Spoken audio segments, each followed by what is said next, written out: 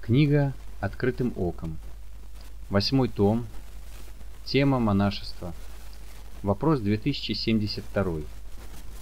Не говорит ли вам приложение к имени святого «Великий» о величии его подвига и пользе для церкви?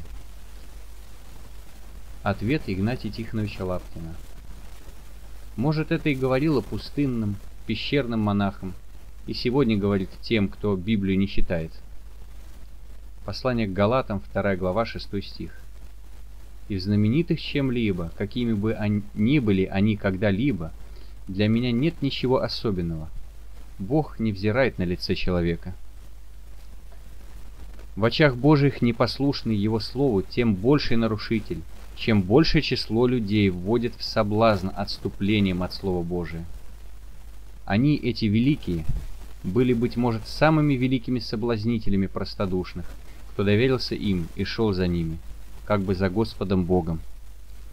Люди же Писания не знали, и потому селились вокруг них, и нередко натыкались на виссарионов красноярских, почитая их за истинных спасителей.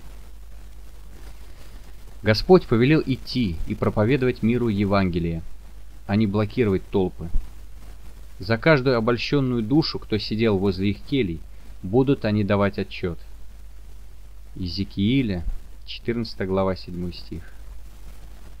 «Ибо если кто из дома Израилева и из пришельцев, которые живут у Израиля, отложится от меня и допустит идолов своих в сердце свое, и поставит о соблазн нечестия своего пред лицом своим, и придет к пророку вопросить меня через него, то я, Господь, дам ли ему ответ от себя?»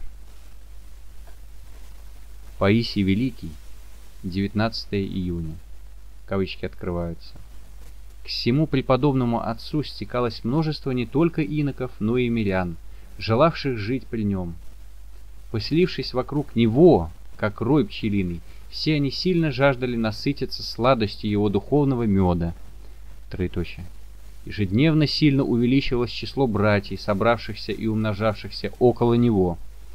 Все они, отвергши житейские прелести мира сего, евангельски подъяли на плечи ерем Христов. Троеточие. Из числа этих братьев одних преподобный отец отделял на подвиг молчания, дабы они наедине беседовали с Богом в теплой молитве. Кавычки закрыты. Знать не было от мира сотворения, страшнее дня великого пятка, глумление твари, богоубиение, тоска в народе, в небесах тоска. Померкло солнце, и бездушный камень под каждую стопою задрожал, но ты и пригвожденными руками от разрушения землю удержал. Ты Бог, тебе не невозможно это. В ответ на зло, на принятый позор, благословил крестом все части света и для объятий руки распростер. Так возлюбить до смерти, Боже, Боже, кого, за что и кто вместил сие? Собор убийц любовь познать не может, и мертвого пронзает копье. Иеромонах Роман